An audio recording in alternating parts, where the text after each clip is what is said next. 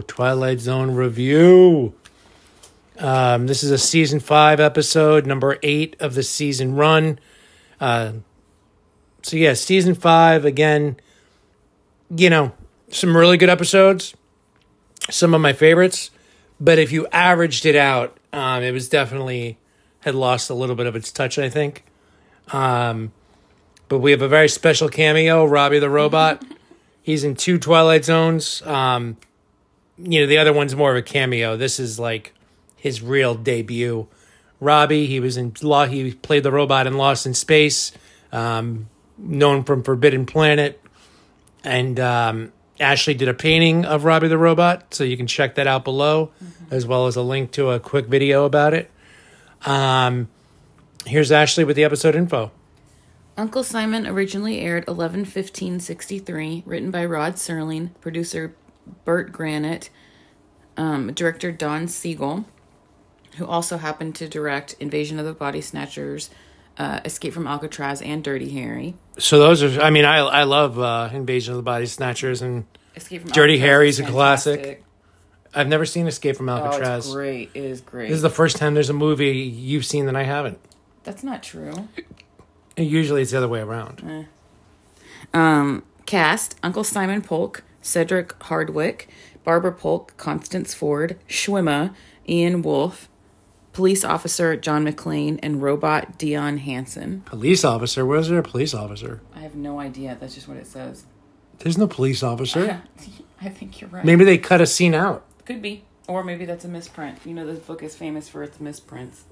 Huh, that's interesting because there's only the three characters plus the robot. Yeah, that's. I don't know what that's supposed to be. That's interesting. That's Weird. really interesting. Weird. Um, ratings wise, for whatever, do you remember why we? This is like one of the episodes we like. You know, it's like one of the ones that it's like one of our episodes. Do you remember why? Because it's fantastic. What's your score? My score is a 10. No, it's not. Yes, it is. No, it's not. Yes, it is. What? Yeah. I knew you were going to say that. You're giving this a 10? Yes, I love this episode. I love it. I'm giving it a 5. Five? No, I I like it because of Robbie and stuff, but it, I I'm shocked that you're giving it a 10. You're very picky with your scores. I know. I I was going to give it a 7.5. Okay. Um, the re there's several reasons I gave it a ten. One because of like I I'm giving I'm giving it an 8 because you don't have to change it. No, no, no, because I I, re- I remember one of the first times we ever um, watched any Twilight Zones. There were a few that we we turned out a marathon. We were hanging out on a New Year's Eve a few years ago, and um, we barely hung out at the time.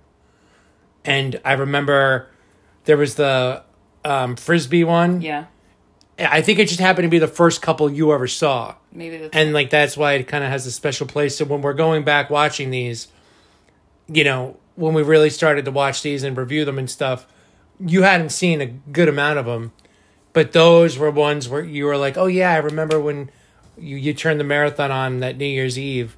Um, these are some of the episodes we watched together. maybe that's why I have like an, an emotional connection with it. But there's several reasons I like this Go episode.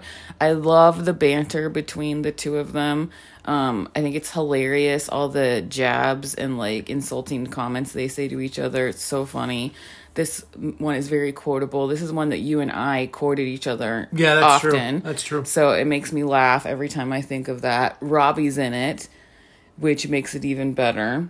Um, and I just, I don't know. I just think it's funny. I just think it's a really funny episode, and I, like I, I feel like it has like an Alfred Hitchcock kind of vibe. it's a it's a very unique vibe. it is a unique vibe. I don't know if it's Alfred Hitchcock, but Yeah, I, I- I definitely give it an eight. It's a good episode. It's um definitely not one of the known, well known pop culture, you know, favorites. Um I, I think if anything, people might know this one because of Robbie the Robot. yeah, Um, so it might get overshadowed as an episode because there's this cameo of this like science fiction robot, you know, that fans of Lost in Space and you know these science fiction movies that this robot, you know, prop was in. Um, wow, a ten. I I mean, I can see how other people would watch this episode and think it was like cheesy and dumb. I can see that 100%. But to me, it is a 10 because I want to watch it and I enjoy watching it Yeah. every single time. I, I definitely give it an eight. I, I I like the episode. I think um I'm just excuse Excuse me. you. I'm just shocked that you gave it a, a ten, but I know. I give it an eight. It's a good episode. Um, Let's do a quick review. yeah, go for it. Um, so basically, this episode is about a uncle and a niece, Barbara and Uncle Simon. Barbara is a caretaker for Uncle Simon. He's elderly. He has a, a limp. He walks with a cane, and he's an, a scientist. So she is obviously they're both obviously miserable with each other. They literally hate each other, and they talk to each other like they hate each other all the time. They just are like insulting each other constantly with these ridiculous long-winded insults. He calls her an angular turnip. He says she has the feminine femininity of a high button shoe. Like it's so funny. And so you have to watch it just to watch the interaction between the two of them. Um, but she basically says to him, The only reason I am here, that I've been here for the past 25 years taking care of you, so I can see you die. Like, that's how much I hate She you. says, on the day of your funeral, I'm going to come home and open a bottle of wine. Yeah. She basically is just there for his money because he's mad rich. He's, I guess, he's probably like a famous scientist back in his time. Do Do you think that's where he? Yeah, he, you know, he. It sounds like he worked for the college because if she doesn't follow the thing, Yeah. And again, he he he passes away in the middle of the episode. That's not that's not the big twist at all. Um, we'll warn you guys if Ashley's going to go there. Yeah. But um, yeah, it seems like he was. You know, he's like this very rich, well known scientist. Yeah. and clearly. For the time, he invents this thing that has a mind of its own. No, he's like very uh, like yeah. skilled. Yeah, he's probably. I would guess he's probably famous. yeah. Um, He's probably re- semi-retired. you Yeah. know. Super rich. And he's just a miserable old dude. And she's just there basically for his money.